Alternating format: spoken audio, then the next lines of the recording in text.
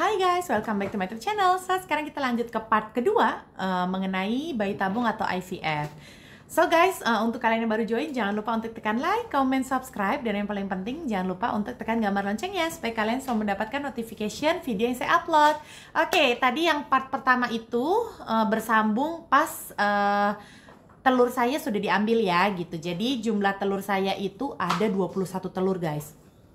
Nah, 21 telur itu ya seperti itu yang saya ceritain ya, nggak semuanya bagus, nggak semuanya bisa dipakai. Jadi nanti ada yang mati gitu guys. Jadi pas uh, yang dari 21 itu uh, yang punya saya yang yang bagus itu ada 19 aja gitu yang uh, lebihnya itu nggak bagus atau yang kayak sudah mati gitu ya nah setelah itu di saat saya pengambilan telur suami juga itu diharuskan untuk uh, mengeluarkan spermanya jadi di hari itu juga langsung telur saya dan sperma suami itu dikawinkan uh, gitu ya kayak dibuahi bukan dikawinkan sorry dibuahi di laboratorium nah setelah itu kita disuruh pulang disuruh pulang untuk menunggu waktu kira-kira 3 sampai 5 hari pas pembuahannya ini uh, jadi atau tidak gitu. Nah, uh, saya ada lupa cerita. Jadi pas uh, sebelum saya eh setelah saya ambil telur itu dokter uh, menanyakan pada saya, saya sanggup untuk memasukkan berapa, berapa telur. Jadi saya bilang uh, dua atau tiga boleh gitu karena dilihat dari umur saya pun uh, belum tua gitu. Jadi dokter bilang oh ya boleh deh gitu karena kayak masih kuat gitu kan. Akhirnya kita uh, bersepakat untuk masukkan dua atau tiga telur karena yang saya pikir uh, mau masuk dua atau tiga jadi kalau satu mati ya masih ada cadangan yang lain gitu guys. Akhirnya udah pas kita pulang itu saya belum ngerasain apa-apa guys. Saya nggak ngerasain apa-apa. Uh, efek-efek dari obat bioset paling kayak ngantuk-ngantuk. Tapi ada juga katanya yang ngerasain sampai kayak ke mual-mual gitu. Tapi kalau saya alhamdulillah nggak. Jadi kayak cuma ngantuk-ngantuk tapi kayak jalan gitu bisa. So hari pertama. Hari kedua juga masih oke. Okay. hari ketiga guys saya ngerasain yang kram sejadi-jadinya di bagian rahim saya itu. Sampai saya mau ke kamar mandi itu saya ngerangkak Nah, saya nggak tahu ya, kalian yang udah ngejalanin bayi tabung ada nggak yang ngerasain seperti saya? Jadi kalian bos, boleh komen juga di bawah untuk uh, cerita juga, sharing juga gitu nih. Jadi saya juga bisa tahu nih, uh, mungkin efeknya ada yang berbeda-beda atau mungkin sama. Nah, itu guys parah. Jadi uh, karena saya nggak kontrol ya, saya nggak kontrol. Yang saya pikir ini saya kenapa ya? Ya Allah, saya nggak kepikiran itu tuh efek dari si operasi kecil yang pengambilan telur itu guys. Jadi saya pikirnya tuh udah yang aneh-aneh kenapa ya gitu kan. Jalan ke kamar mandi sampai ngesot gitu sampai ngerangkak kan. Dan mau tarik nafas tuh nggak kuat guys. Jadi kayak ya Allah sakit sakit. Sampai ada yang bilang katanya saya tuh yang kayak ketempelan uh, apa makhluk halus yang kayak gitu-gitu sampai hmm. segitunya gitu loh. Akhirnya pas cerita ke dokter ternyata dokter bilang ya ya itu ada efeknya itu gitu. Namanya juga rahim kita dimasukin sama jarum ya kan sebesar gini untuk ngambil si telurnya ya ya pasti kan kayak ada apa uh, efek um, merangkel yang gitu-gitu. Apalagi kan kayak di bagian daleman gitu ya guys. Jadi mungkin di saat pemulihannya itu ya sakit. Nah pas selesai kita uh, ambil ambil telur itu dokter kan suruh kita benar-benar istirahat. Nah pas udah hari kelima rumah sakit itu nelpon guys. Uh, rumah sakit nelpon. Uh, katanya uh, telur kita sudah uh, uh, terbelah menjadi beberapa sel gitu kan. Jadi kan kalau kayak telur kita udah dibuahin kan nanti uh, telurnya itu kan ada yang belah jadi dua. Eh, setelah pembuahan itu telur kita kan berbelah menjadi dua, jadi empat, jadi enam, jadi dua belas, jadi delapan belas. Baru dia akan berubah. Uh, dia baru akan nempel di uh, rahim kita dan berubah menjadi janin gitulah ya lebih kurang ya guys. Sekali lagi ini saya saya bukan dokter, saya orang awam yang menceritakan tentang kisah hidup saya. Jadi kalau kayak ada salah silap, uh, silahkan dibetulkan. Kalian boleh komen di bawah. Setelah itu, uh, kita akhirnya besok pagi nih ke rumah sakitnya kan semangat banget guys, semangat. Nah, uh, ke rumah sakit, udah kayak gitu, nggak uh, apa-apa ya saya ceritanya sambil uh, uh, uh, karena saya mengingat lagi kejadian tiga tahun lalu gitu guys. Jadi ini kan ceritakan tanpa skripsi ya. Jadi memang saya akan mengingat jadi banyak eh uh, uh, nya gitu. Nah udah kayak gitu udah pas mau di uh, dibuahi eh, bukan mau dibuahi maksudnya si telur itu mau masuk ke rahim saya itu kita masuk kayak ke satu ruangan gitu kan. Nah itu uh, pas di saat dimasukinnya itu kita tidak dibius jadi keadaan sadar dan suami juga boleh menemani gitu kan nah terus kita bisa lihat nih kayak kayak di TV gitu di atas kan saya udah tiduran gitu suami di sebelah. Nah si dokternya ini dia bilang disebut lagi bener nggak ini dengan ibu ini dan bapak ini? Karena mereka mau memastikan nama kita itu betul. Jadi uh, di kayak di apa namanya kayak di tiupnya itu kan di telurnya itu kan pasti kan dikasih nama-nama. Karena kan yang buat bayi tabung kan bukan saya sendiri gitu kan ada berpuluh-puluh orang yang buat bayi tabung juga jadi udah betul ya dengan Ibu Maharani dengan Bapak uh, Azhar gitu kan. Oh iya nah coba dilihat ya katanya ini calon anaknya gitu guys. Dan kita tuh bisa ngeliat yang kayak kecebong. Anak si si calon anak kita tuh kayak lagi berenang gitu uget-uget gitu dong guys. Gitu kan. Terus uh, ini ya silahkan berdoa katanya gitu. Semoga anaknya nih uh, bisa jadi gitu kan nempel di rahim gitu. Nah terus pas tiba-tiba dokter tuh dengan santainya ini masih dokter yang sama yang bikin ayu ayu ke saya juga guys gitu. Dan dengan santai dokter bilang gini udah ya masukin satu aja karena kalian berdua sehat. Jadi saya yakin ini pasti jadi nggak usah dua nggak usah tiga. Takutnya juga nanti uh, malah bahaya lah bla bla bla. Jadi kan kita juga yang kayak hah? Hah? Satu. Sedangkan kita pikirkan juga ngeluarin duitnya kan nggak sedikit gitu ya guys oh oh gitu ya. Udah gitu juga kan tapi nggak mungkin yang kita mau ngotot-ngototan karena kita juga kan orang awam. Kita nggak kita nggak paham tentang IVF gitu kan. Kita nggak ada ilmu di bagian itu gitu. Jadi ya udahlah ikutin aja apa kata dokter. Tapi ya sempat bertanda tanya juga gitu loh. Kan kita udah sempat uh, menyetujui untuk dua atau tiga telur sedangkan kan telur saya juga banyak. Akhirnya dokter tuh dengan penuh semang uh, kepercayaan diri dia bilang ini pasti jadi nih udah satu aja karena telurnya juga grade-nya grade A dia bilang itu grade A gitu kan. Uh, tingkat tingkat uh, kualitasnya paling bagus lah istilahnya gitu. Ya udah udah masuk nah pas udah masuk itu tiba-tiba dokter bilang uh, oke okay, udah selesai boleh boleh pulang. Katanya kita urus administrasi udah bayar semua semua dan itu bayarnya 30.000 guys. 30.000 itu belum yang uh, ininya ya plus plusnya 30.000 itu uh, untuk si ininya uh, kayak intinya aja gitu loh. Bukan yang kayak tiga hari sekali saya pergi hospital untuk cek darah itu tidak dihitung sama sekali guys uh, jadi untuk yang kayak uh, operasi pengambilan telur untuk uh, apa pembuahan telur gitu-gitu 30 ribu nah jadi kalau yang kayak tiga hari sekali datang atau konsultasi ke dokter yang sekali konsultasi itu bayarnya itu hampir 300 300 ribu ya atau hampir 100 ringgit itu nggak dihitung. Jadi kalau mau total bersih dengan ketemu dokter dengan ambil darah semua semua itu hampir 33 sampai 35 ribu. Jadi hampir 100 juta berarti.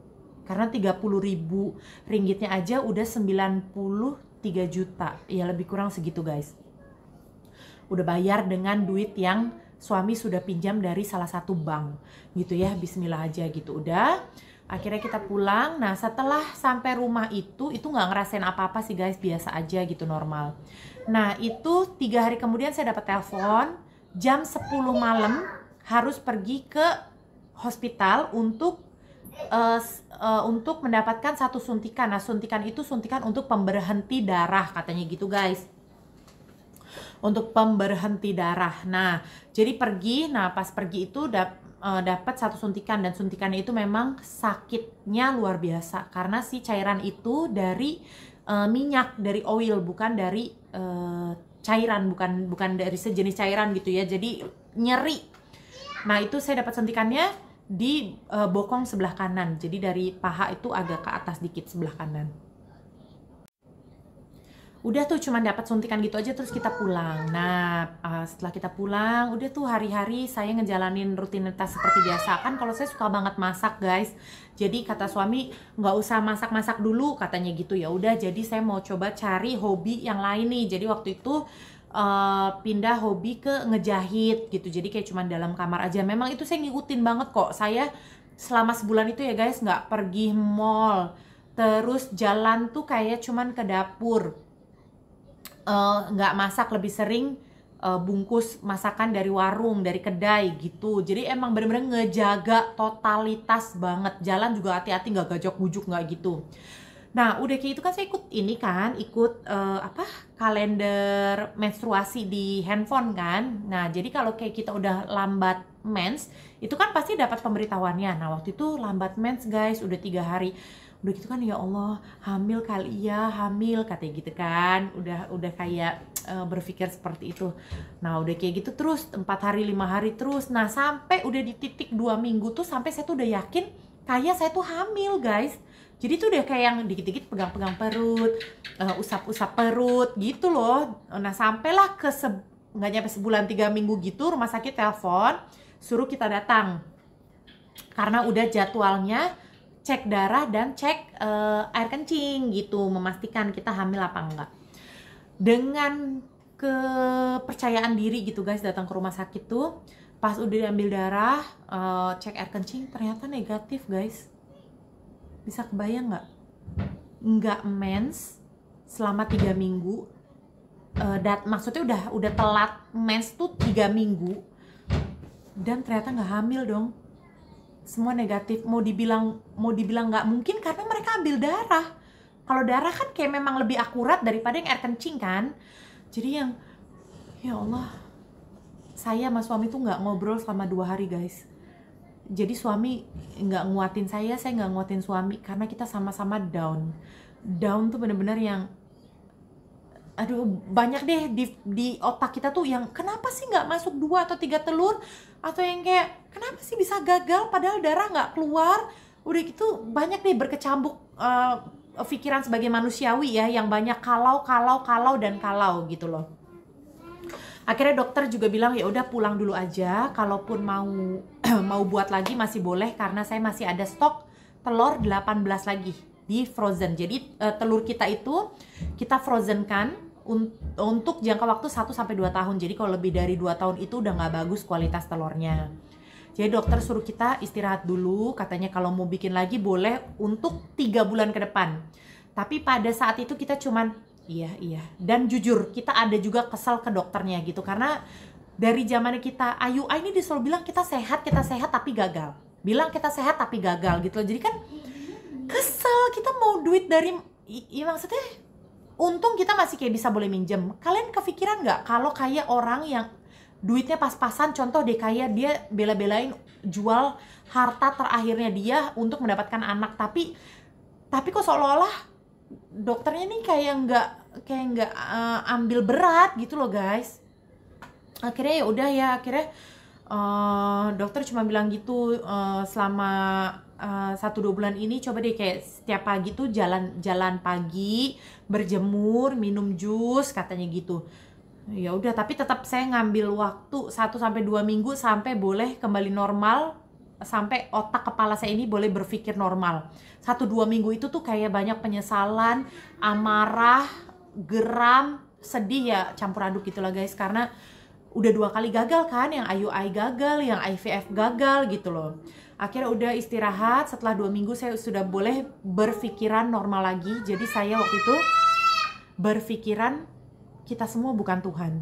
Mau segimana sehebatnya dokter, dokter yakin tapi dokter bukan Tuhan.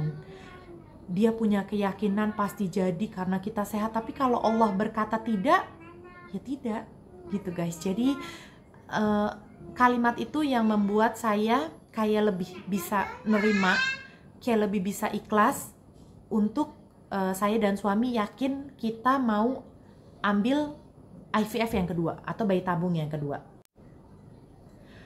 akhirnya setelah tiga bulan kita balik lagi ke rumah sakit dan kita bilang kita siap untuk bayi tabung yang kedua. Dan sebelum ke rumah sakit itu akhirnya saya sama suami pu punya kesepakatan ini ikhtiar terakhir kita. Kalau Allah masih nggak ngasih berarti kita ikhlas aja. Ada alhamdulillah kita udah punya anak satu gitu kan. Ya udah uh, kita ikhlas aja. Yang penting uh, maksudnya gini loh kalaupun kayak saya nggak mau nyoba untuk yang kedua tetap nanti hidup saya kayak nggak tenang guys. Karena apa? Karena mungkin pikiran saya saya belum totalitas. Udah kayak gitu kita masih punya banyak stok calon anak-anak kita di Frozen gitu loh guys. Tapi selama tiga bulan itu saya benar-benar Google saya cari di YouTube saya searching. Sebenarnya apa yang harus dilakukan di saat orang bayi tabung? Jadi saya uh, saya menemukan uh, banyak cerita sharing-sharing gitu loh dari uh, apa perempuan-perempuan di luar sana calon ibu-ibu. Jadi katanya itu seharusnya kalau kayak kita selesai uh, masukin uh, calon janin itu ke rahim kita kita kalau boleh itu kita bed rest 1 sampai 2 jam gitu. Jangan langsung uh, bangun gitu. Dan untuk kencing pun kita pasang selang untuk kita buang air kecil gitu ya untuk kencing.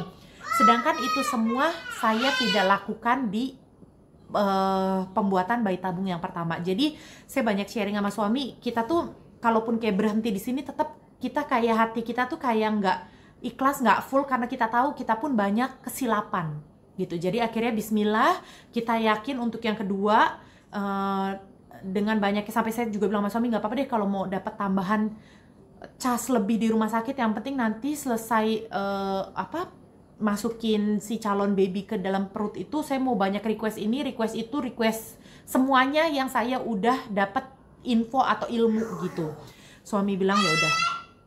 Tapi itu tetap tuh uh, suami bilang harus ngajuin lagi pinjaman lah apa ada jual sebagian barang.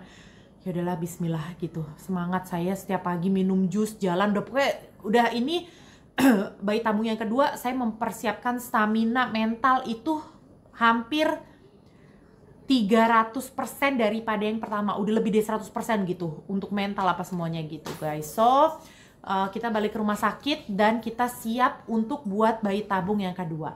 Dan gimana ceritanya nanti kita akan lanjut ke part ketiga. So guys, jangan lupa untuk tekan like, comment, subscribe, tekan gambar lonceng dan kalau kalian suka sama video ini, share video ini ke semua sosial media yang kalian punya. Kita lanjut ke part 3 guys.